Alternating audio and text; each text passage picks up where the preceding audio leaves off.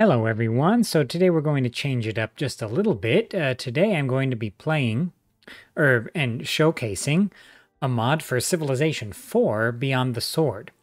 Now this mod is uh, Rhye's and Fall of Civilization, and uh, this mod is quite nice because, you know, you, you have two start dates. You can start in uh, 3000 BC or in 600 AD, and of course, that changes the uh, factions you can start out as. Right, I think in 600 AD, pretty much most of the civilizations are around.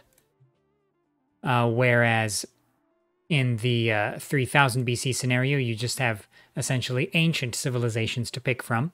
And what I like about this mod for Civilization 4 is that the start dates change. So you have more um, historical progression, right? So you have the Egyptians, uh, India, China, and the Babylonians starting in 3000 BC, so before everyone else.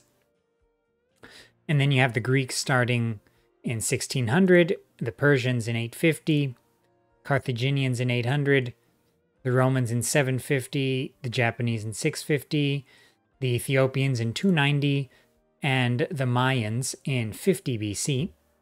And these are the civilizations you can start out as, right? Because they have start dates that are mm, that come fairly quickly in the grand scheme of the campaign. But there are, of course, a whole bunch of other civilizations that appear later. You just can't start out as them from the beginning. Right? So if I choose the Babylonians, the campaign will start out uh, immediately.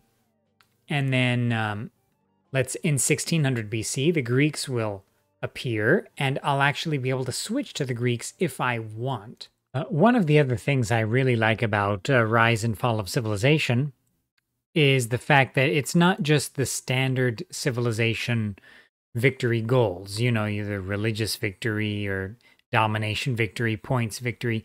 You also have historical victories. So this kind of reminds me of the um, medieval one total war sort of gl- uh, glorious victory type uh, conditions. So it wasn't just conquer the map, right? You you were able to accomplish historical goals, uh, where you enrich your civilization and go through history. Uh, you know, triumph in historical ways. So, for example, uh, the Egyptians here under Ramses, uh, one of their goals is to have more than 500 culture in 700 BC. So by turn 86, build the pyramids, the Great Library, and the Great Lighthouse by 250 AD, have more than 5,000 culture in 450 AD. Right, so that's really nice. But if you look at the other civilizations, you can see there are unique historical victories for each of them.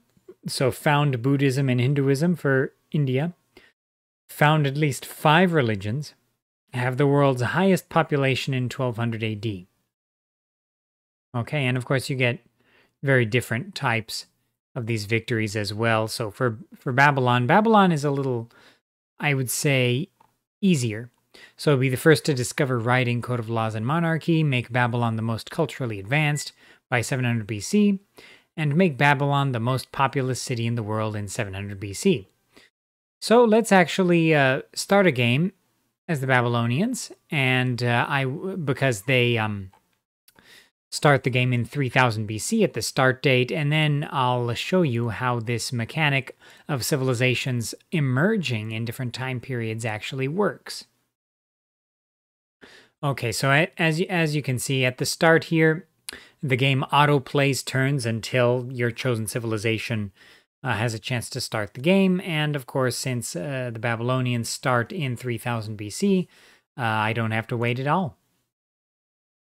Okay, so as Babylon, and as I believe the other ancient civilizations that start in 3000 BC, um, you only start out with a warrior and a settler, whereas civilizations that start later uh, get much more than that. So they can have several archers, horse archers, or stacks, right? I believe the Mongols get a huge army, if I'm not mistaken.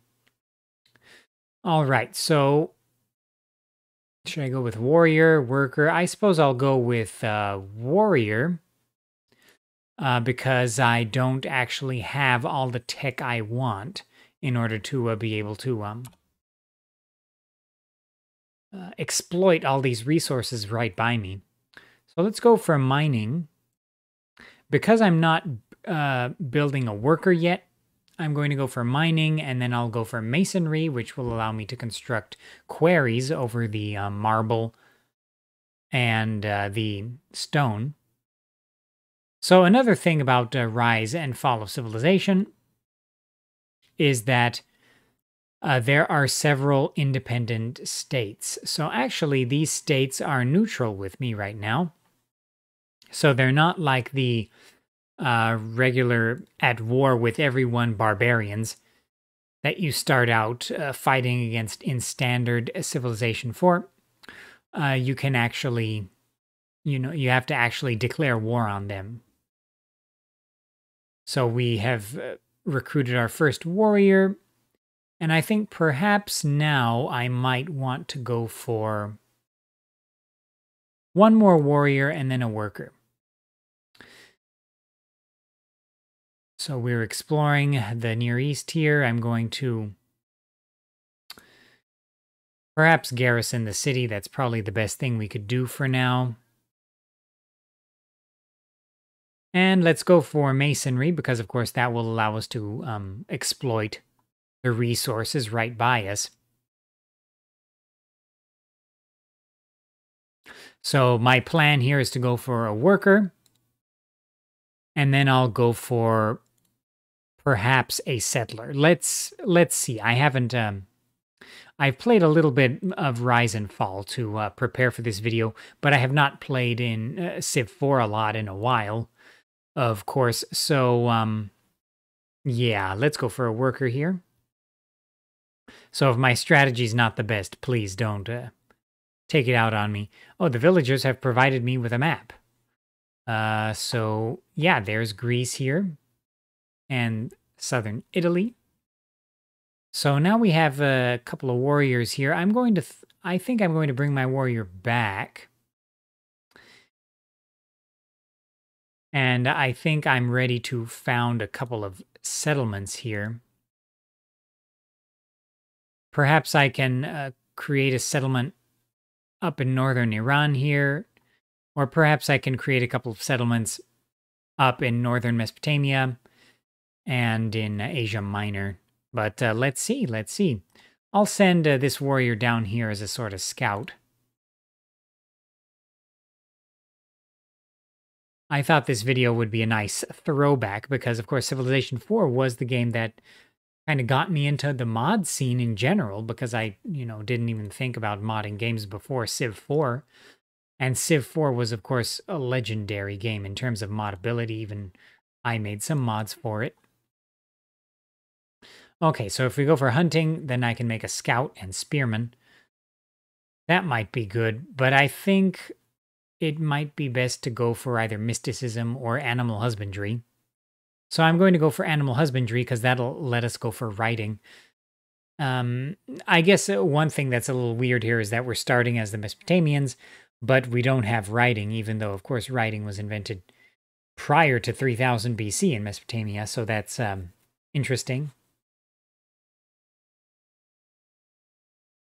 All right, I think I'll move this warrior here into northern Iran just to see what kind of land is there in terms of uh, what we can settle. And you know, in terms of Civ 4's graphics, I always thought they were really nice. I think they hold up fairly well, especially in a lot of the um, major mods like Total Realism, which is a mod I definitely want to cover uh, because there are a lot of really fantastic mods for Civ 4 that are still in development to this day that I think might be the best civilization experiences of all time. Really nice indeed. So let's go for a settler. We've got a worker here, so let's go for... Let's upgrade the stone. Let's construct a quarry. So we're exploring the Arabian Peninsula here.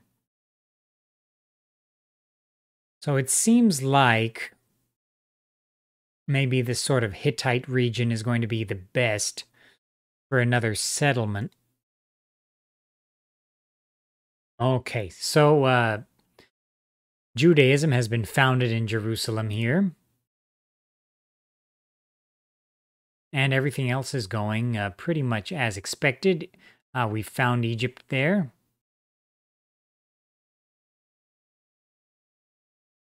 There shall be peace in our time. Farewell. Okay, I think I'm going to get this uh, warrior to go back to Asia Minor here. So we can uh, get our settler up there.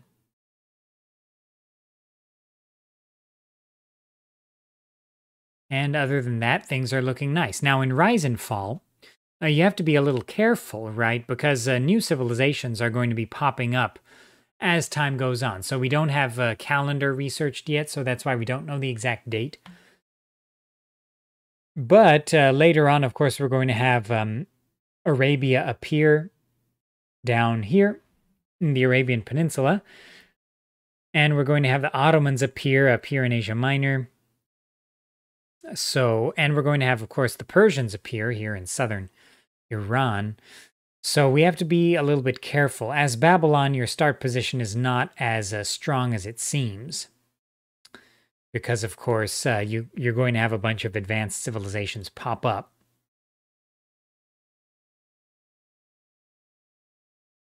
So I suppose we could go for uh, writing because I I'd like to have writing as the Babylonians. All right, let's get our road ready. Connect our quarry to Babylon. Oh, and we've got horses up there too. So I think perhaps this location, a little bit north of Hattusha, capital, ancient capital of the Hittites, is probably going to be our best bet here for a city. And I don't believe uh, any of the civilizations that pop up will interfere with that. All right, so our settler is going to be done in seven turns.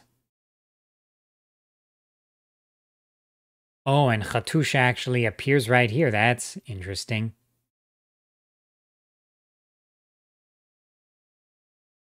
And actually, they are barbarians, so they are at war with us. That's actually quite uh, fun. Let's get our warrior back here, and let's get our warrior up here to the horses, and perhaps we can actually fight them and defeat them if they are aggressive.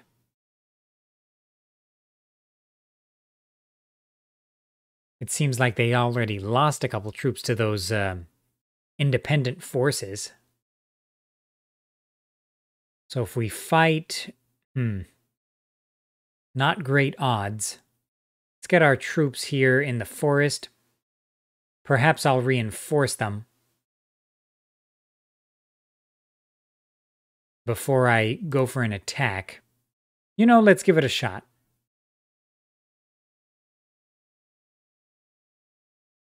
Oh, we actually defeated them. Very nice. Very nice indeed.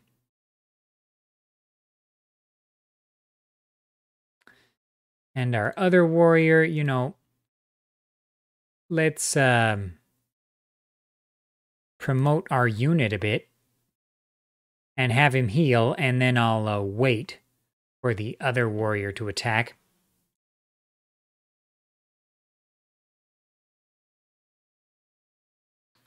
No, let's just wait there. Okay, so we've got our settler done. That's quite nice. And, you know, let's go for the pyramids. Because why not? Oh, so my settler is done, but I'm not sure where to create my city here. I suppose I could make my city in southern Mesopotamia, sort of a Sumerian city, or I can make it up here, up in the north. So you know what? Because if I make a city here, then maybe northern Iran is going to be best. This was always my downfall in civilization was city placement.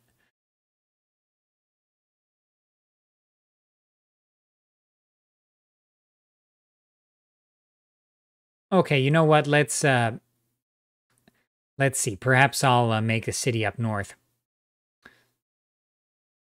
Okay, our warrior's not quite ready. Okay, now he's ready. So let's attack.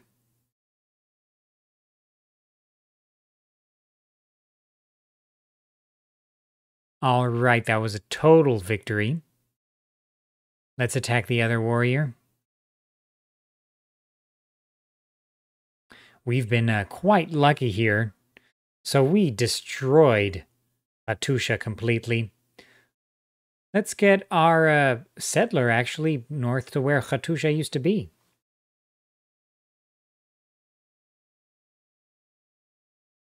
All right, so we've got writing now. Very nice indeed. Let's go for mysticism.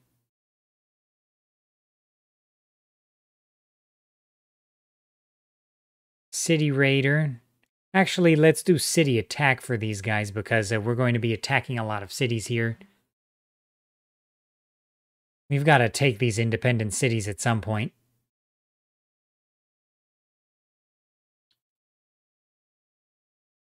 So let's get our warrior up there. We'll defend that city until I can get a better garrison unit. And let's send this warrior down here. Near Babylon. All right. So our other quarry is ready. That'll really help with the pyramids. Already 15 turns for the pyramids. That's pretty good.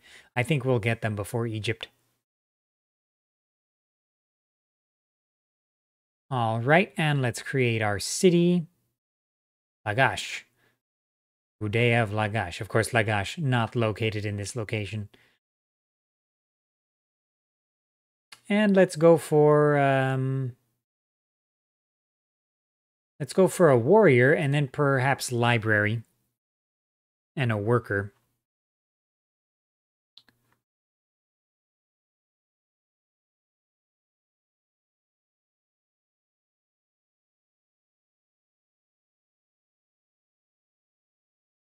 And perhaps culturally we can overwhelm uh, Elam here, Susa. Yep. There was no need to attack them. Okay, and the Greeks are now, uh, it's now 1600 BC, so the Greeks are actually appearing on the stage. So now we can take control of the Greeks. Okay, and it as you can see, it works seamlessly. So now we have a couple of units of phalanx troops. And uh, we have Athens, and we have a little fleet with a sort of a colonist here. So we can actually create a city wherever we want. Let's go for Ionia here. And let's have our galley explore no open borders. Okay, that's fine. And we can have our phalanx troops group together. And I'll send them against perhaps the Babylonian city that I know is up there in Asia Minor. And let's defend Athens. I'll probably send a warrior out here just to see where I can make another city.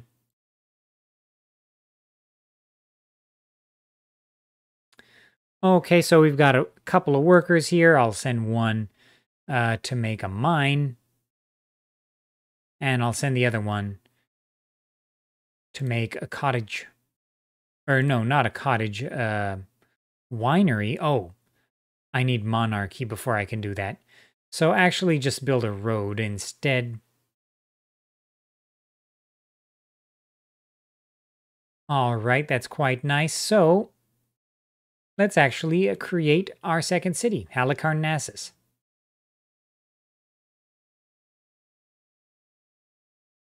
So let's go for, well, I need a, I need someone to defend this city. So let's go for a warrior. And then actually, that is pretty much everything I wanted to show you about Rhye's and Fall of Civilization. As you can see, it's a, it's a pretty vanilla game in terms of the, the units and buildings available.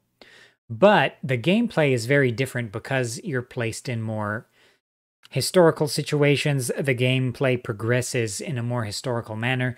Now, uh, the weakest aspect of Rhye's and Fall is that you know because you know when civil when and where exactly civilizations are going to pop up. Uh, in that aspect, it's a little bit predictable. However, th- there are so many civs you can start as, and you can start as uh, even later civs, right? Like uh, the Greeks or, um, I don't know, Japan. And then every time you start as a civilization that has a later start date, the world has developed in a different way. So it's going to be a different game pretty much every time. Uh, and that's something I really like about this mod for Civilization 4. I just like the idea of it. It's it's a very nice idea. In any case, I hope you enjoyed this video. If you enjoy videos about the historical Total Wars, historical games in general, and mods, consider subscribing to the channel, consider liking this video, consider supporting me on uh, Patreon. And I will see you in the next one later.